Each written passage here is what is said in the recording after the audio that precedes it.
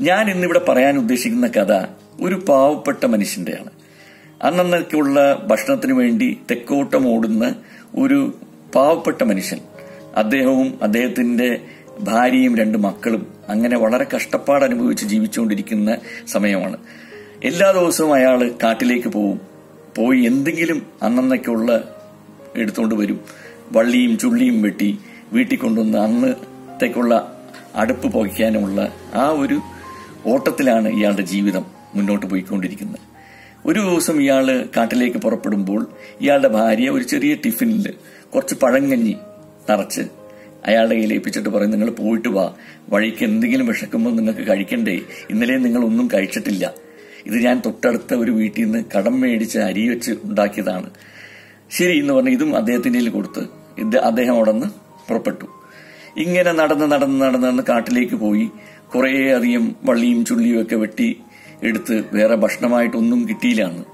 തിരിച്ച് പുറപ്പെട്ട് വന്നുകൊണ്ടിരിക്കുമ്പോൾ വഴി കണ്ട കാഴ്ച ഒരു നായ ഒരു പട്ടി വളരെ വിഷമിച്ച് ക്ഷീണിച്ച് അവിടെ കിടക്കുന്നു.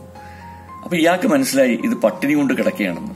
ഇയാൾ ഇയാളുടെ ആ ടിഫിൻ തുറന്ന് അതിൽ നിന്നും കുറച്ച് പറ്റ് കുറച്ച് ചോറെടുത്ത് ഈ പട്ടിക്ക് ഇട്ട് കൊടുത്തു ഈ നായക്കിട്ട് കൊടുത്തു ഈ നായ അത് വളരെ ആർത്തിയോടുകൂടി കഴിച്ചു. ഇത് കണ്ട് ഇയാളുടെ മനസ്സിന് അതിയായ സന്തോഷമുണ്ടായി. ഇയാൾ അവിടെ നിന്ന് വീണ്ടും പുറപ്പെട്ടു വീട്ടിലേക്ക്. കുറച്ചു ദൂരം ഇങ്ങനെ നടന്നു വന്നപ്പോൾ ഒരു കുടിൽ കണ്ടു. ആ കുടിലിനകത്തുനിന്ന് വല്ലാത്തൊരു കരയുന്ന ശബ്ദം. ഇയാൾ നേരെ ആ കുടിലിനകത്ത് കയറിപ്പോയപ്പോൾ കണ്ട കാഴ്ച ഒരു വയസ്സിയായ തള്ളിയും കുറെ കുഞ്ഞുങ്ങളും ഇരുന്ന് ഭയങ്കരമായിട്ട് നിലവിളിച്ച് കരയുന്നു. ഇങ്ങേരകത്ത് പോയി ഈ അമ്മൂമ്മയോട് ചോദിച്ചു അമ്മുമ്മേ എന്തിനാണ് നിങ്ങൾ ഇങ്ങനെ കരയുന്നത് അപ്പൊ അമ്മൂമ്മ പറഞ്ഞു രണ്ട് ദിവസമേ മോനെ എന്റെ മോനും അവന്റെ ഭാര്യയും കൂടി കുഞ്ഞുങ്ങൾക്ക് വേണ്ടി എന്തെങ്കിലും കഴിക്കാൻ വേണ്ടിയുള്ള ഒരു ഇതിനു വേണ്ടി ഇറങ്ങിയത് ഒരു ശ്രമത്തിന് വേണ്ടി ഇറങ്ങിയത് കാട്ടിലേക്ക്.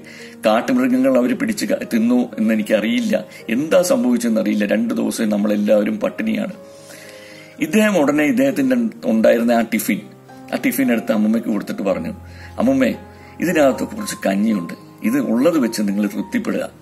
അപ്പൊ അങ്ങേര് ഒന്നും കഴിച്ചിട്ടില്ല പട്ടിണിയാണ്. ഈ ക്ഷീണവും പട്ടിണിയും എല്ലാം കൊണ്ടും വിശപ്പും എല്ലാം കൊണ്ടും അങ്ങേര് പറഞ്ഞു എന്നാൽ ഞാനൊരു ഇത്തിരി നേരം കിടക്കട്ടെ എന്ന് പറഞ്ഞു ഇവർക്ക് ഈ ടിഫിൻ ഏൽപ്പിച്ചിട്ട് അദ്ദേഹം റെസ്റ്റ് ചെയ്തു. കുറച്ചു നേരം ഇങ്ങനെ കിടന്ന് അങ്ങേരെ കണ്ണങ്ങ് അടഞ്ഞുപോയി അങ്ങ് അങ്ങ് മയങ്ങിപ്പോയി. അങ്ങനെ ഉറങ്ങി എണീച്ചപ്പോൾ അങ്ങേര് കണ്ട കാഴ്ച അവിടെ കുടിലുമില്ല അമ്മുമ്മയില്ല കുഞ്ഞുങ്ങളുമില്ല ഇങ്ങേരെ അടുത്ത് ആ ടിഫിൻ ഇരിപ്പുണ്ട്. ആ ചളുങ്ങിയ ടിഫിൻ ഇങ്ങേരുടെ.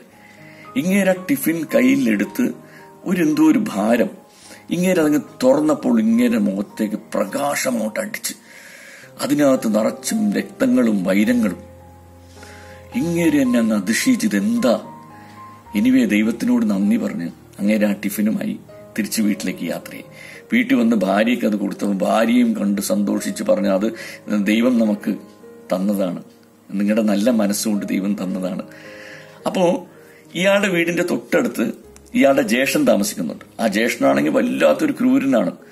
ഇയാളുടെ അച്ഛനും ഇവരുടെ അച്ഛനും അമ്മയും മരിച്ചപ്പോൾ ഈ സ്വത്തുക്കളെല്ലാം ഈ ജ്യേഷ്ഠൻ അടിച്ചെടുത്തു.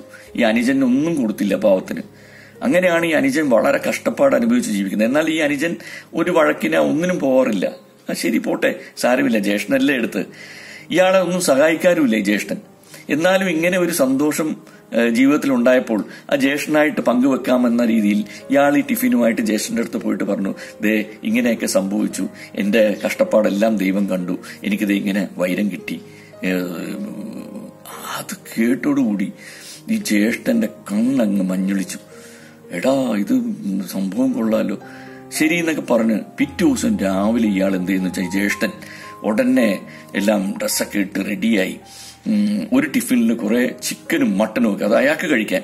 അപ്പുറത്ത് വേറൊരു വലിയ ചെമ്പിൽ വലിയൊരു ചെമ്പ്. ആവുന്നത്ര വീട്ടിലുള്ള ഏറ്റവും വലിയ ചെമ്പിൽ ഈ ഒരു പഴങ്കഞ്ഞി അതായത് ആരും തിന്നില്ല. അത്രയും മോശപ്പെട്ട ഒരു അരി പഴകിയ അരി. അത് വെച്ചുണ്ടാക്കിയ കുറെ കഞ്ഞിയും അതിനകത്ത് നിറച്ച് ഇയാൾക്കൊരു കഴുതയുണ്ടായിരുന്നു. ആ കഴുതപ്പുറത്ത് വെച്ച് കെട്ടി ഇയാൾ യാത്രയെ കാട്ടിലേക്ക്. ഇതുപോലെ തന്നെ ഇയാൾ കാട്ടിലേക്ക് പോയി. ഇയാൾ ജോലിയൊന്നും എടുക്കില്ല.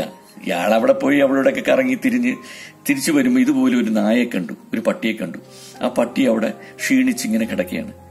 ഇയാൾ എന്ത് ചെയ്യുന്ന വെച്ചാൽ ആ കഞ്ഞിയുടെ വലിയ ചെമ്പ് തുറന്ന് അതിൽ നിന്ന് കുറച്ച് ചോറെടുത്ത് ഇട്ട് കൊടുത്തു ഈ പട്ടിക്ക്. ഈ പട്ടി മണ്ണിത് മണത്ത് അതങ്ങ് തിരിച്ചുപോയി അത് കഴിച്ചില്ല. അതായത് ആ പട്ടിക്ക് പോലും ഇഷ്ടപ്പെട്ടില്ല. അതിന് പോലും കഴിക്കാൻ പറ്റുന്ന ഒരു ചോറല്ല കഞ്ഞിയല്ല ഇത്. അതിനുശേഷം ഇയാൾ വീണ്ടും യാത്രയായി. ഇതുപോലെ തന്നെ ഒരു കുടിൽ കണ്ടു. അവിടെ കരയുന്ന ശബ്ദം കേട്ടു. ഇയാൾ കുടിലേക്ക് ചെന്നു. ഇതുപോലെ തന്നെ ഒരു അമ്മുമ്മയും കുറെ കുഞ്ഞുങ്ങളും. ഈ അമ്മുമ്മയോട് കാര്യം ചോദിച്ചപ്പോൾ അവരിത് പറഞ്ഞു. അയാൾ ഉടനെ തന്നെ എന്തെന്ന് വെച്ചാൽ ആ വലിയ ചെമ്പ് ആ ചെമ്പ് തുറന്ന് അതിനകത്തുള്ള ആ പഴകിയ കഞ്ഞിയും ആ ആരും കഴിക്കാത്ത രീതിയിലുള്ള ആ ചീഞ്ഞ ചോറും എല്ലാം കൂടി എടുത്ത് ഈ അമ്മുമ്മയ്ക്ക് ഏൽപ്പിച്ചിട്ട് പറഞ്ഞ് ഇത് നിങ്ങൾ കഴിക്കൂ നന്നായിട്ട്. വയറ് നിറയട്ടെ. ഇഷ്ടം പോലെ ഉണ്ട് ഇതിനകത്ത്. നല്ല വയറ് നിറഞ്ഞ് കഴിച്ചോളൂ എന്ന് പറഞ്ഞ് ഇത് അവരെ ഏൽപ്പിച്ചുകൊണ്ട് ഇയാൾ തൊട്ടിപ്പുറത്ത് മാറിയിരുന്ന് അയാളുടെ സ്വന്തം ടിഫിൻ തുറന്ന് അതിനകത്ത് നല്ല ചിക്കനും മട്ടനും ഒക്കെ എടുത്ത് നല്ല വയറ് നിറച്ചങ്ങോട്ട് കഴിച്ച്. കാഴ്ചയെല്ലാം കഴിഞ്ഞപ്പോൾ അയാൾക്ക് വല്ലാത്ത ക്ഷീണം. ഒരു ഇത്തിരി നേരം മയങ്ങിക്കോട്ടെ എന്ന് അമ്മയോട് പറഞ്ഞിട്ട് അയാൾ അവിടെ കിടന്ന് അങ്ങ് ഉറങ്ങി. ഈ ഉറങ്ങിയ ആൾ ആ തീറ്റയുടെ ആ ഒരു ബലം കാരണം തീറ്റ അത്രത്തോളം വലിച്ചുവാരി കഴിച്ചല്ലോ. അതെല്ലാം കൂടി കഴിച്ചതിന്റെ ക്ഷീണം കഴിച്ചതിന്റെ ക്ഷീണം കാരണം അയാൾ എണീച്ചത് പിന്നെ വൈകിട്ട് ഒരു ആറു മണിയായപ്പോഴാണ്. എണീച്ചപ്പോൾ അങ്ങ് ഇരുട്ടി തുടങ്ങി. ഞാൻ നോക്കുമ്പോ ഇതുപോലെ തന്നെ ആ വീടുമില്ല കുടിലുമില്ല ഒന്നുമില്ല അവിടെ. ഇയാൾ ഉടനെ നോക്കിയപ്പോൾ ഇയാളുടെ വലിയ ടിഫിൻ അവിടെ ഇരിപ്പുണ്ട് വലിയ ചെമ്പ്. ഇയാൾ കഞ്ഞി കൊണ്ടുവന്ന ചെമ്പ്. ഇയാൾ ഓടിപ്പോയി ആർത്തിയോടുകൂടി ആ ചെമ്പ് അങ്ങോട്ട് വലിച്ചു തുറന്നു. തുറന്നപ്പോ കണ്ട കാഴ്ച എന്താണ്? അതിനകത്ത് നിറച്ചും കല്ലും മണ്ണും വേസ്റ്റും ചപ്പും ചവറും. ഇയാളങ്ങ് വല്ലാണ്ട് വിഷമിച്ച്. പുറത്തേക്ക് അങ്ങ് നോക്കിയപ്പോ കണ്ട കാഴ്ച എന്താണ്? ഇയാളാ ആ ചോറ് കൊടുത്ത പട്ടിയില്ലേ? ആ പട്ടി അവിടെ വായം തുറന്ന് കൊരച്ചുണ്ടെങ്കിൽ നിൽക്കുകയാണ് ഇയാളെ നോക്കിയിട്ട്. ഇയാൾ അങ്ങോട്ട് ഇറങ്ങിയോടുകൂടി ഇയാളുടെ പുറയിലേക്ക് ആ പട്ടി അങ്ങോട്ട് ഓടാൻ തുടങ്ങി.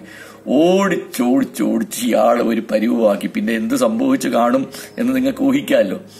അപ്പൊ ഇതാണ് ഒരു കഥ. നല്ല മനസ്സുകൊണ്ട് നല്ല പ്രവൃത്തികൾ ചെയ്യുക. സൽപ്രവൃത്തികൾ ചെയ്യുമ്പോൾ എന്നും നമ്മുടെ മനസ്സ് നന്നായിരിക്കുക.